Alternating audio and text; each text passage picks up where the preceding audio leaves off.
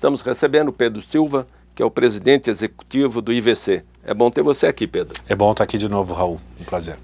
IVC, eu gostaria que você falasse a respeito da governança do IVC.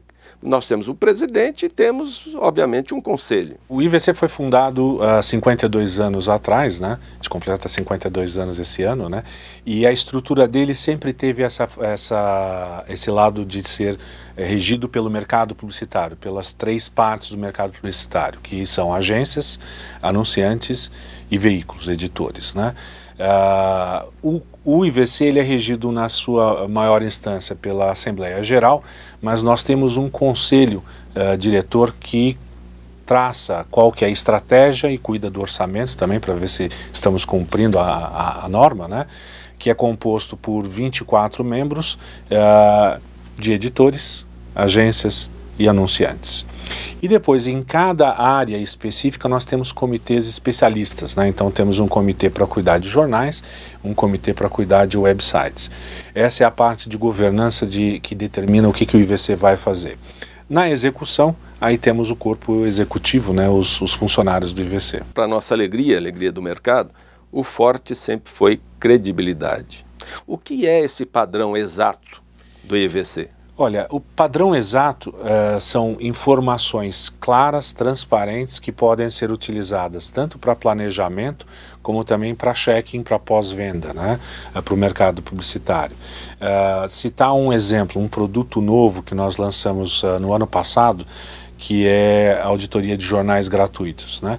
Nós auditamos cada ponto onde o jornal é distribuído, com uma frequência em por volta de uma vez a cada três, quatro dias para ver se o ponto está funcionando. E o interessante é que essas informações elas são apresentadas também para o mercado publicitário. A gente tem essa apresentação num mapa de calor que é como um, um, um mapa de localização que todo mundo tem acesso no computador, onde você consegue ver cada ponto qual que é a quantidade distribuída em média de cada dia e é onde ele está localizado, em que esquina da cidade, em que estação de metrô e quanto que é distribuído lá. Então você consegue ver o mapa de calor de São Paulo e ver aonde que ele é mais distribuído esse jornal. Então eu acho que isso é o padrão exato, é trazer é, mais informações, informações precisas que auxiliem o trabalho de comunicação.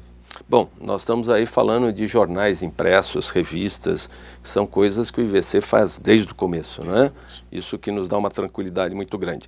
Mas vocês estão hoje atuando na modernidade, websites. Como é que vocês têm feito essa auditoria? Uh, websites. Nós auditamos as informações de Web Analytics, que são os dados que cada computador, cada smartphone, cada tablet uh, acessa um site. Então nós conseguimos ver uh, com detalhe não apenas que houve um acesso a uma página, mas que isso foi acessado de um computador, ou de um smartphone, ou de um tablet. E em que cidade do Brasil são 5 mil, na verdade, todas as cidades do uhum. mundo, mas o que importa para a comunicação são as 5 mil cidades brasileiras. Então, cada website a gente consegue decompor a audiência dele em cada uma dessas 5 mil cidades. E, uh, além disso, além de saber qual o dispositivo e aonde está localizado, entender qual que é a distribuição dos acessos ao longo do dia né? para a gente conseguir perceber, por exemplo, que o tablet é muito, muito utilizado por volta de 9, 10 horas da noite, enquanto que o computador é muito utilizado das 8 às 18. Né? Esse tipo de informação é fundamental porque a, a comunicação e a criação para cada um desses dispositivos ela é uh, específica, né? Para um, uma tela pequena você tem um tipo de criação e um tipo de campanha. Para uma tela grande é outro tipo de campanha. Internet, qual é o seu posicionamento? Olha, uh, a internet está crescendo e a gente tem tentado acompanhar essas demandas do mercado anunciante. Uh, estamos hoje também auditando campanhas de internet. Quando uma agência anunciante compra uma, uma campanha, o modelo que é utilizado para compra é diferente dos, das mídias tradicionais. Quando você compra um anúncio no jornal, você precisa saber quantos exemplares circularam, qual que é a circulação do jornal, e você precisa saber se o seu anúncio estava onde você contratou do tamanho que você pediu. Quando você compra, né, e esse é o modelo de patrocínio, né, como normalmente é utilizado, Quando você compra na internet, você compra impressões. E aí uh, você precisa saber, ok, como, o que, que aconteceu com essas impressões? Em que cidades que elas foram? Porque hoje é possível você comprar numa região específica, numa cidade específica, e você precisa saber aonde foi veiculado. Você consegue saber em que dispositivo isso efetivamente ocorreu e que hora do dia isso efetivamente ocorreu. Então, essas informações de checking uh, para o mercado publicitário são muito importantes e bastante relevantes e a gente hoje já tem alguns clientes uh, trabalhando nessa área. Qual é o próximo produto que o IVC vai Olha, alcançar? Nós temos uh, na área de internet um produto que nós estaremos lançando nos próximos meses é uh, a parte de site seguro para você colocar uma veiculação.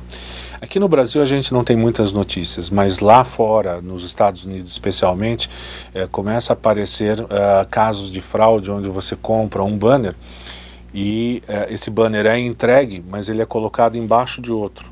Então você consegue multiplicar o seu inventário, mas só apenas, apenas um vai ser visto. Né?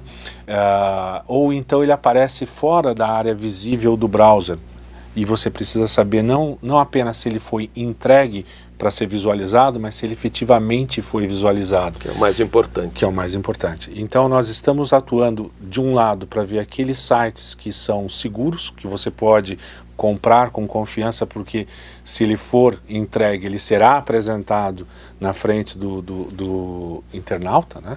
Uh, e uh, do outro lado, uh, garantir que se essa mensagem foi a, a, efetivamente apareceu na frente do, do internauta, que ela tenha sido medida da mesma maneira. Isso na área de, de digital. Né? Na área de impressos, nós estamos uh, em vias de finalização uh, da auditoria de uh, revistas de bordo, né? as revistas que vão dentro dos aviões.